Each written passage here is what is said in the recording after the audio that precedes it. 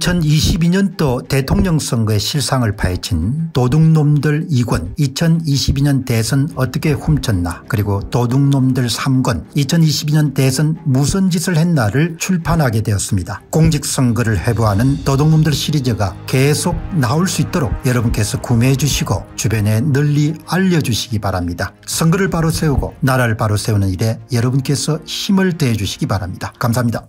좀 길어지는 감이 있습니다만은 뭐 그래도 오늘 내용들이 조금 그 대장동 관련된 내용들이 많기 때문에 또 그걸 그냥 넘어가기가 좀 그래서 여러분들 자 이 뭐 권력의 끈이 떨어지고 나면은 다 각자 살 길을 찾지 않습니까 예.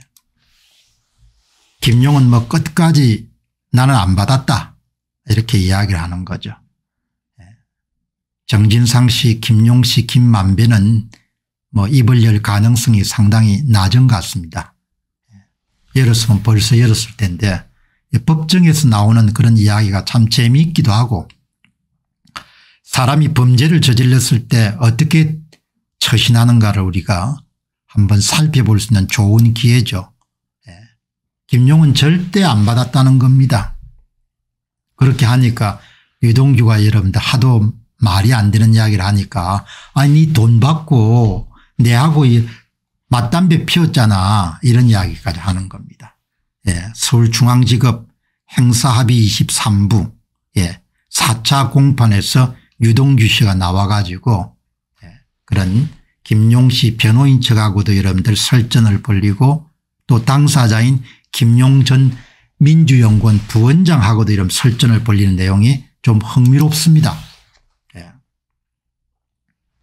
이거는 나중에 좀 자세하게 어, 말씀을 드리겠습니다만은 예. 이 여러분들 이 또 하나 여러분들 우리가 확인하게 되는 것은 유동규 씨가 완전히 뭡니까 그냥 돌아서게 된 결정적인 계기가 예. 아주 그 극심한 그런 배신감 형제처럼 생각했는데 야 어떻게 죄를 나 함께 다 덮어 씌우기 위해 가지고 그렇게 그런 행위를 하게 되면은 구속감이 된다는 그런 행위를 하도록 유도를 했다고 그렇게 유동규 씨가 판단한 겁니다. 그 내용이 아주 상세하게 나와 있기 때문에 여러분 한번 들어보시기 바랍니다. 예. 그 사람은 본래 생기기로 이기적인 존재니까 이렇게 막판이 되게 되면은 본인이 살기 위해 상대방을 예, 구렁텅이로 빠뜨리는 그런 일들을 서슴지 않는 거죠. 예. 그 여러분들 묻습니다. 예. 검찰 조사에서 진술이 바뀐 이유가 가짜 변호사 때문이라고 하지 않았느냐 이렇게 이제 그 이야기를 하니까 김용씨 측 변호, 변호인 측에서 가짜 변호사뿐만 아니고 여러 사유가 누적이 돼 가지고 내가 완전히 사실과 진실을 검찰에 다 털어놓기로 결정했다. 김용과 정진상이 후속 사유에 해당하는 행동을 왜 시켰는지 수천 번을 되뇌었다. 아주 여러분 중요한 이야기입니다. 김용과 정진상이 법률가가 아니죠. 그렇기 때문에 김용과 정진상이 제가 볼 때는 법률과의 조언을 받았을 것 같아요. 그래 가지고 예, 그런 영장이 발급돼가 여러분들 경찰이 여러분들 그 덮쳤을 때 핸드폰을 버리도록 했지 않습니까 그게 바로 증거인멸죄에 해당하기 때문에 구속 사유에 해당되는데 유동규 씨는 그 행위를 김용과 정진상이 사주했다고 보는 겁니다. 어떻게 죄를 덮어 씌우기 위해 가지고 이렇게 김용과 정진상이 구속 사유에 행동하는 행동을 왜 나함께 시켰는지 수천 번을 되뇌었다. 어마어마하게 뭡니까 배신감을 느낀 겁니다. 예. 그냥 덫에 빠지도록 만든 겁니다. 사회생활 하면서 그런 경우 가끔 있죠. 흔하진 않지만 어떤 사람이 뭘 이용하는 거죠. 그러니까 이 유동규란 사람은 기본적으로 그렇게 뭐 질이 낮거나 그런 사람은 아닌 것 같아요. 본인이 나중에 이용당했다고 느낀 겁니다. 그 사람들이 나를 그냥 수단이나 도구로 이용했다고 보는 겁니다. 구속 사유에 해당하는 행동을 하도록 왜 시켰는지 수천 번 되뇌었다 감옥에서. 예. 여러분 그렇게 나온 겁니다. 휴대전화를 버려라. 검찰의 압수수색 직전에 정진상 전 민주당 대표시 정무조정실장이 연락을 받고 창밖으로 휴대전화를 던진 것으로 알려졌다. 김용은 유동규에게 태백 산맥에 들어라 숨어라 예, 이런 내용이 이제 다 검찰의 공소장에 들어있는데 이거를 유동규 씨가 어떻게 해석하는가 하니까 대장동 비리와 관련된 모든 의혹을 유동규가 덮어 쏘도록 만들기 위해 가지고 김용과 정진상이 짠 계략이자 작전이다 그렇게 유동규가 뒤늦게 깨우친 겁니다. 그래서 이 아이 이렇게 나온 겁니다. 예. 실제 유동규 씨는 체포 이후 증거인멸 및 도주 우려를 이유로 구속 수감되고 말았다. 이용당했다고 느낀 겁니다. 예. 김용이나 정진상과 같은 사람들은 젊은 날 운동권에 깊숙이 관여됐기 때문에 능히 그렇게 할 겁니다. 모든 사람들은 다 이용 대상으로 삼겠죠. 그거를 유동규가 깨우친 겁니다. 나는 행정안 이상으로 생각했는데 어떻게 너가 그렇게 할 수 있냐. 그렇게 여러분들 깨우치고 확 돌아버린 겁니다. 음. 그 다음에 여러분들 또 두 번째 이번에 쏘고 간 중에 재미나는 내용이 예, 현금을 전달한 과정을 검찰과 김용이 재연하는 과정에서 오고 간 이야기입니다. 김용이 당시 돈을 줬다는 장소 인근 경기도청 공사 상태가 어느 정도였느냐 이렇게 묻는 변호인이 조언을 했겠죠. 유동규 씨가 답합니다. 공사가 마무리되기 전이어서 펜스가 쳐져 있고 유리창을 깔았던 단계로 기억한다.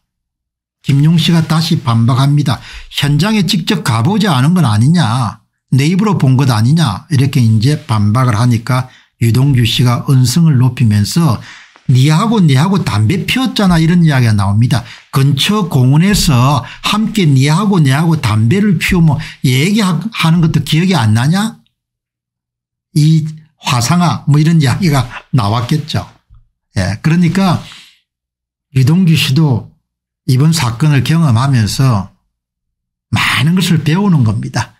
세상살이가 뭔지 그래도 성악을 한 사람이라서 그런지 비교적 사람이 좀 비비 꼬인 건 없는 것 같아요. 예. 근처 공원에서 김용이 내하고 니돈 받고 난 다음에 내하고 맞담배 피웠잖아 이렇게 나오는 겁니다. 예. 사람은 이익을 위해 가지고 예. 세월이 가면서 친구가 깨지는 경우도 이익 때문에 깨지는 경우가 많지 않습니까 친구를 이익 때문에 이용하거나 그런 경우가 주변에서 많이 보지 않습니까 예. 사람이 징글징글한 거죠. 자기 이익을 위해 가지고 이익을 위해 가지고 예. 유동규가 여러분들 핸드폰을 던져서 증거인멸 도주 우려의 구속 사유에 속하도록 그렇게 밀어 넣을 수 있고 돈 받아도 얼굴 하나도 이런 변하지 않고 네가 어떻게 내한테 돈 줬냐 나는 모른다 이렇게 잡아 떼일 수 있는 것이 그게 인간입니다. 그날 법정 진술에서 김만배가 약속한 대장동 개발이익 428억 원은 이재명 민주당 대표와 정진상과 김용을 위한 것입니다. 이렇게 다시 한번 강조하고 그리고 오전 재판이 끝나고 취재진에게 추가 설명을 합니다. 검찰이 428억 원의 원주인이 누구인가를 구체적으로 캐묻기 전에 내가 먼저 얘기했습니다. 화닥질이 나가지고. 예?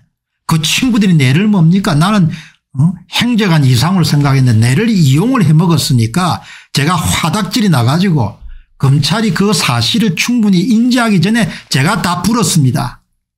이런 이야기인 거죠. 내가 할 수 있는 도리 해야 할 말은 정확하게 하고 내 몫은 벌을 받겠습니다. 다른 사람의 몫은 다른 사람이 지라는 겁니다. 감방 나오면서 딱 이야기한 거지 않습니까 예.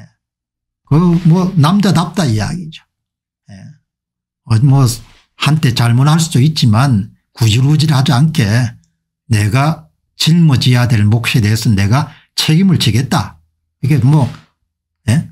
그냥 확 이야기하지 않습니까 이익을 나눌 때는 뭐 형님 아우 이렇게 하지만 이익관계가 끊어지고 하면 다 각자 도생이라고 살 길을 찾는데 그때 인간의 진면목이 다 드러나지 않습니까 그 유동규는 그래도 참 사람이 뭐 예, 조금 더러운 부분에 손을 대긴 했지만 그러나 이렇게 털어놓지 않습니까 얼마나 배신감을 강하게 느꼈으면 오만 것을 다 털어놓도록 뭐죠. 유튜브까지 나가가 이런 털어놓도록 그렇게 됐을까. 예. 다 이제 각자 살 길을 찾는 거죠.